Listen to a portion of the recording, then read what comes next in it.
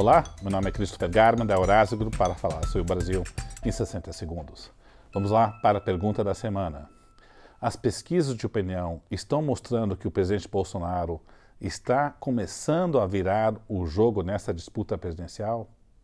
A resposta é ainda não, mas elas mostram sim que o presidente deve entrar nessa disputa um pouco mais forte do que ele estava um mês atrás.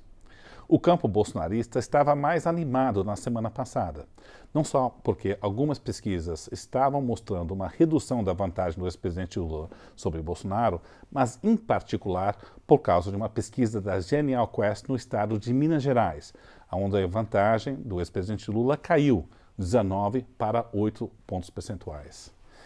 Mas a pesquisa IDEC, publicada nesta segunda-feira, jogou um pequeno balde de água fria no campo bolsonarista, na medida em que mostrou o ex-presidente Lula liderando o presidente Bolsonaro por 16 pontos percentuais no segundo turno e 12 pontos percentuais no primeiro.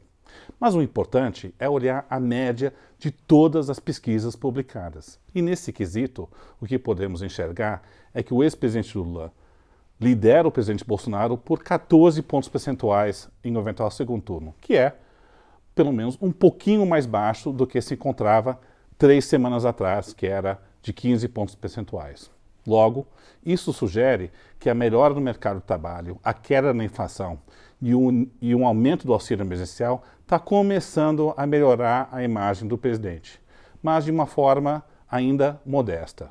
Tudo isso, portanto, sugere que o presidente Bolsonaro ainda tem muito trabalho para poder reverter este jogo até a disputa de outubro. Possível, mas ainda difícil. Ficamos por aqui e até a próxima semana.